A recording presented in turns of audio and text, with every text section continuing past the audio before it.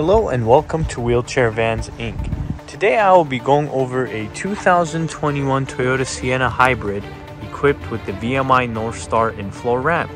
To operate the ramp, you will use your key fob to hit the sliding door button here.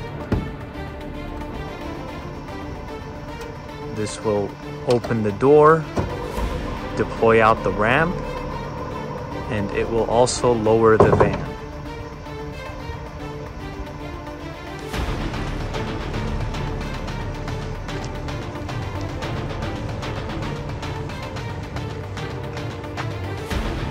Let's head inside and check out the setup. Now this here is going to be the infloor ramp and the width on this ramp is going to be 30 inches. Entrance from the floor to the top of the door is going to be 57 inches. In the middle, you will have the wheelchair user. Going on to the back, you will have the bench seat that will fit three people.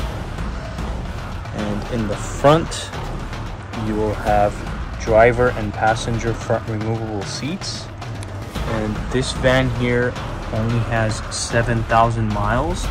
And some key features this van will have is a touchscreen infotainment system, adaptive cruise control, lane departure warning, and automatic emergency braking.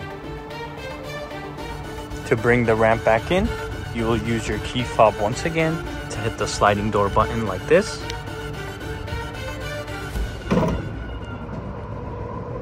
This will bring in your ramp, close the door, and raise the van back up.